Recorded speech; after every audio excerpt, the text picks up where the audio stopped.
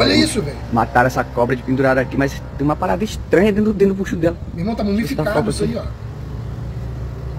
O que, que você acha que é que tá aí dentro? Tipo, ovo. Exatamente. cobra tava ovada, eu acho. Olha só. Tava ovado, era uma fêmea. Muito bem. Olha lá a coluna, cara. Dá pra ver direitinho. O pessoal fala, ah, a cobra não tem osso. cobra é vertebrado, gente. É ovo mesmo. Olha lá as vértebras, tá vendo? Coluna. Que cobra estranha era essa? É uma carinana. Ixi, é feia, meu amigo. Morto, acho que não tem ninguém bonito, né? Coisa mais estranha, assustador. É assustador mesmo. Hum. As escamas, cara. Tá, peraí. Quem sabe o nome dessa cobra aqui, ó? Caninana. Você tá cheio do ovo, tipo ovo dentro.